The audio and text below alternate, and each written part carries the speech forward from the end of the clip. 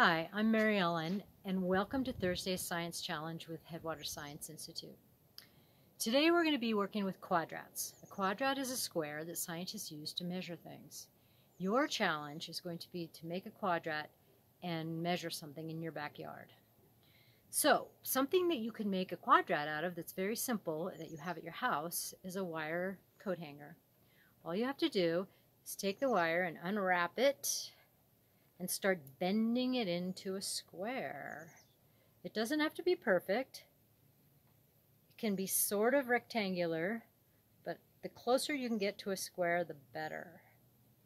So push it and pull it until you get close to a square shape, and then you can wrap the ends, or you can wrap it in duct tape to make it stick.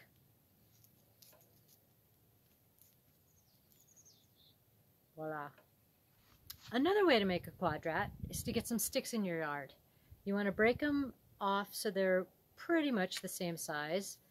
And then you can get some duct tape and wrap the corners to keep them together. You're probably going to want another set of hands for this. But the idea is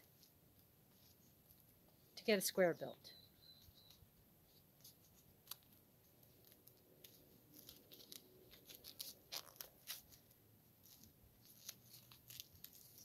There's three sides anyway.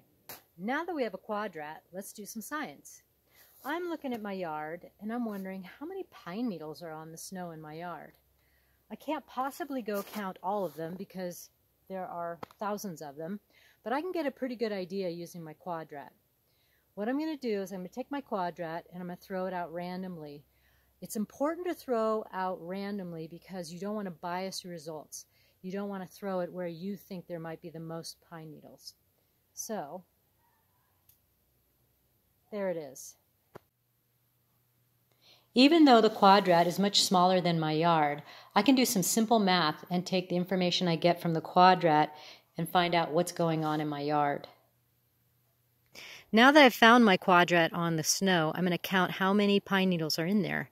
I'm going to count everything that's even touching the inside of the quadrat. So if any part of the needle is in the quadrat, I'm going to count it. I've counted 21 pine needles, and I'm counting the bundles like this, the sets of three, and not, this is counted as one and not three. But however you do it, just do it the same in each quadrat. The next thing I'm going to do is average the number in my quadrats to get an overall picture of what I see outside. I have 10 quadrats that I sampled and I'm going to add the numbers up. They equal 166. And since I did 10 quadrats, I'm going to divide it by 10, which gives me 16.6 average number of pine needles in my samples. I'm going to round up that 16.6 needles to 17 needles per quadrat. My quadrat measures 20 centimeters by 30 centimeters, so the area, length times width, is 600 centimeters squared. But how many needles do I have in one centimeter? All I need to do is take the 17 needles and divide it by the 600 centimeters squared, and I get how many needles are in one centimeter, which is 0.028 or rounded to 0.03 needles in one centimeter. Now that I know that I have 0.03 needles in one centimeter, I need to figure out how big my yard is. I measured it at 30 meters by 60 meters, which converts to 3,000 centimeters by 6,000 centimeters. If I multiply the two to get my area, I end up with 18 million centimeters squared. Now, if I multiply the number of needles per one centimeter by how many centimeters I have in my yard, I end up with 540,000 needles in my yard. Wow, that's going to be a lot of raking. Good luck on your investigation. One tip I have for you is use your quadrat to measure things that are a lot of, like grass or pine needles or sprouting plants. Now that you know how to use a quadrat, go out in your yard and figure out what you can find.